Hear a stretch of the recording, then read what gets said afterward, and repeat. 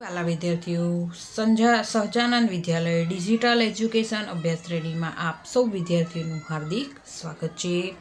ધોરણ સાત, વિષય, સંસ્કૃત. પાઠ સાત સુક્તય એટલે સુક્તિઓ. આ સાત સુક્તિઓ છે તેને આપણે અનુવાદ સહિત, તેની સમજૂતી સહિત આપણે સમજવાની છે. એમાં પહેલી છે, જ્ઞાનમ ભારમ ક્રિયા વિના. ક્રિયા વગરનું જ્ઞાન ભારરૂપ છે. બીજી છે, જનની જન્મભૂમિશ્ચ સ્વર્ગાદપી ગરીયસી. જનની એટલે માતા, જન્મભૂમિ આપણી જન્મભૂમિ. સ્વર્ગ કરતાં પણ ચડિયાતી છે, મહાન છે. ત્રીજું છે આપદી મિત્ર પરીક્ષા. તો આપત્તિના સમયમાં મિત્રની પરીક્ષા થાય છે. ચોથું છે, શ્રદ્ધાવાન લભતે જ્ઞાનમ. શ્રદ્ધાવાળો માણસ જ જ્ઞાન પ્રાપ્ત કરી શકે છે. પાંચમું છે, બુદ્ધિ યસ્ય બલમ તસ્ય. જેની જેવી બુદ્ધિ હોય તેવું જ તેનું બળ હોય છે. છઠ્ઠું છે, સંઘે શક્તિ કલો યુગે કળયુગમાં સંગઠનમાં જ શક્તિ રહેલી છે. આઠમું છે, શરીર માધ્યમ ખલુ ધર્મ સાધનમ. ખરેખર શરીર જ ધર્મનું પહેલું સાધન છે. તો પહેલી પંક્તિ છે, જ્ઞાનમ ભારમ ક્રિયા વિના, એટલે કે જ્ઞાની પુરુષ જ્ઞાન અનુસાર આચરણ ન કરે, તો તેનું જ્ઞાન વ્યર્થ છે, બોજા રૂપ છે. મેળવેલા જ્ઞાનને આચરણમાં ન મૂકનાર માણસ સમાજમાં આદરને પાત્ર બનતો નથી. જ્ઞાની પુરુષ ક્રિયાવાન હોય, અર્થાત તેના કર્મ તેના જ્ઞાનને અનુસરતા હોય, તો તેનું જ્ઞાન શોભી ઉઠે છે. પોતે મેળવેલા જ્ઞાનને પોતાના ચરિત્ર દ્વારા ચરિતાર્થ કરનાર માણસ જ સાચો જ્ઞાની છે. તે જ ખરો જ્ઞાની છે. બીજું છે, જનની જન્મભૂમિશ્ચ સ્વર્ગાદપી ગરીયસી માતા અને જન્મભૂમિ સ્વર્ગ કરતાં પણ ચડિયાતી છે. દુનિયામાં માતાની જોડ મળવી ખૂબ જ મુશ્કેલ છે. જેને માતાનું વાત્સલ્ય પ્રાપ્ત થયું હોય તે તો ખૂબ જ ભાગ્યશાળી ગણાય છે. સ્વર્ગનું સુખ પણ માતાના સુખ આગળ પ્રાપ્ત થતા સુખ આગળ કેવું છે? ફિક્કું અને તુચ્છ છે. તેવી જ રીતે ભૂમિ પર આપણો જન્મ થયો છે. જે ભૂમિ પર આપણો જન્મ થયો છે તે જન્મભૂમિ પણ આપણી માતા જ છે. તે જન્મભૂમિનું રક્ષણ કરવું તે આપણી ફરજ છે. આમ, પ્રત્યેક વ્યક્તિ માટે જન્ની અને જન્મભૂમિ સ્વર્ગ કરતાં પણ મહાન છે. ત્રીજું છે, આપત્તિ મિત્ર પરીક્ષા.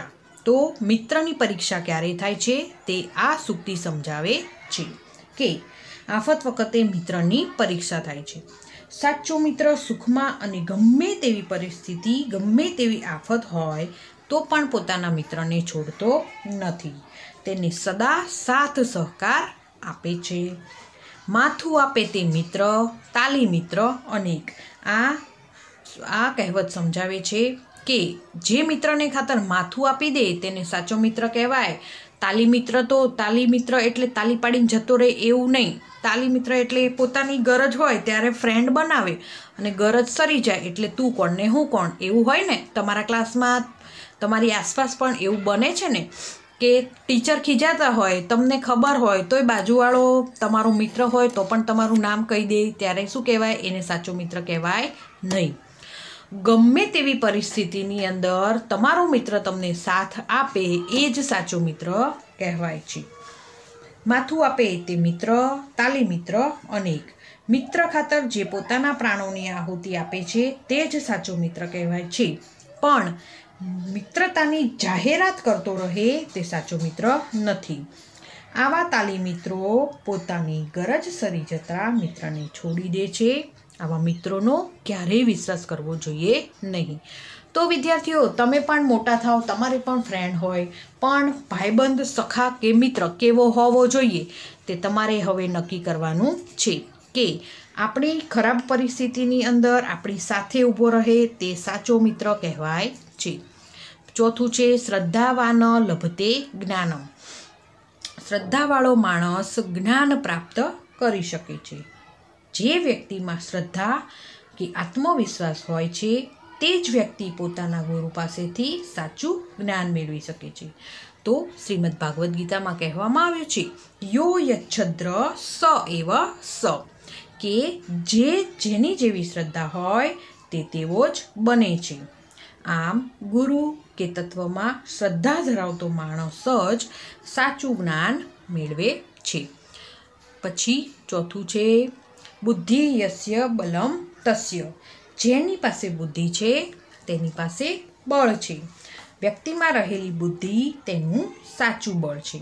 શારીરિક બુદ્ધિ કરતાં શારીરિક બળ કરતાં બૌદ્ધિક શક્તિ કેવી છે? ચડિયાતી છે.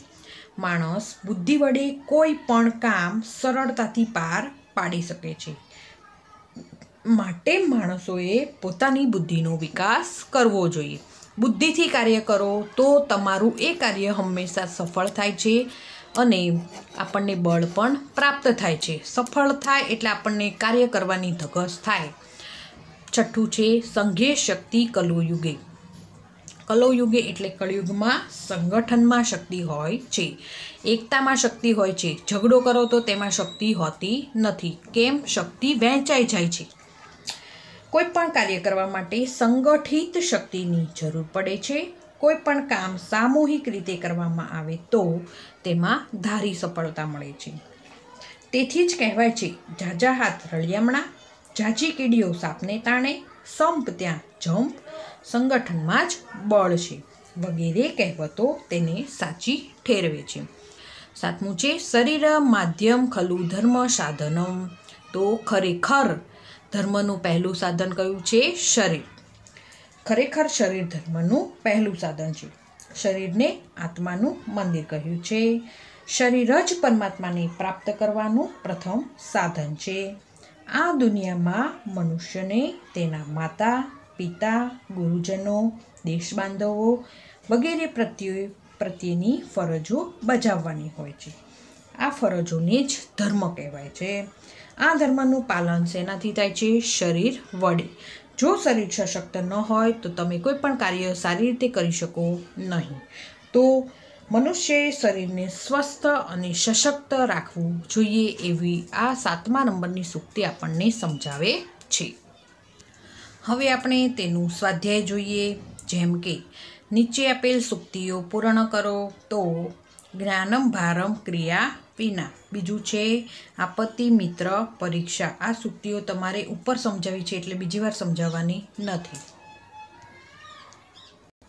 ત્રીજું છે ખાલી જગ્યા લભતે જ્ઞાનમ તો શ્રદ્ધાવાનમ લભતે જ્ઞાનમ. ચોથું છે બલમ તસ્ય, એટલે કે બુદ્ધિ યસ્ય બલમ તસ્ય. પાંચમું છે ધર્મ સાધનમ, તો શરીરમ આદ્યમ ખલુ ધર્મ સાધનમ. આ બધી જ સૂક્તિઓ આપણે આગળ સમજાવેલી છે એટલે આપણે આ લખવાનું નથી. પ્રશ્ન નંબર બે, અન્ય ત્રણ સૂક્તિઓ શોધીને લખો. આવી જ સૂક્તિ અન્ય ત્રણ ખાલી તમારે અહીંયા લખવાની છે. જેમ કે હોય છે ને, અહિંસા પરમો ધર્મ એટલે કે અહિંસા શ્રેષ્ઠ ધર્મ છે. ગુણા વિનયન શોભતે કે ગુણો નમ્રતાથી શોભે છે. અથવા તો વિદ્યા વિનયન શોભતે, વિદ્યા વિનયથી શોભે છે. પછી છે, યત્ર નાર્યસ્તુ પૂજ્યંતે, રમંતે તત્ર દેવતા કે જ્યાં સ્ત્રીઓની પૂજા થાય છે, ત્યાં દેવો વાસ કરે છે. એવી અલગ અલગ તમે તમારી રીતે પણ સૂક્તિઓ અહીંયા લખી શકો છો. પ્રશ્ન નંબર ત્રણ છે, શ્રદ્ધાવાન લભતે જ્ઞાનમ. આ સૂક્તિને સમજાવો. આ સૂક્તિ આપણે આગળ સમજેલા છીએ એટલે આ પણ લખવાનો નથી. પ્રશ્ન ચાર, જન્મભૂમિ વિશે સૂક્તિમાં શું કહેવામાં આવ્યું છે? આ પાંચ વાક્યો લખો. તો આ જન્મભૂમિ વિશે સૂક્તિમાં જે કહેવામાં આવ્યું એ પણ અહીંયા લખવાનું છે. જે આપણે આગળ સમજાવ્યું છે, તેથી આ પણ લખવાનું નથી. તો વિદ્યાર્થીઓ, આ પાઠના પરીક્ષાલક્ષી પ્રશ્નો આપણે નેક્સ્ટ ક્લાસમાં જોઈશું. આજે આટલું જ. આવજો. જય સ્વામિનારાયણ.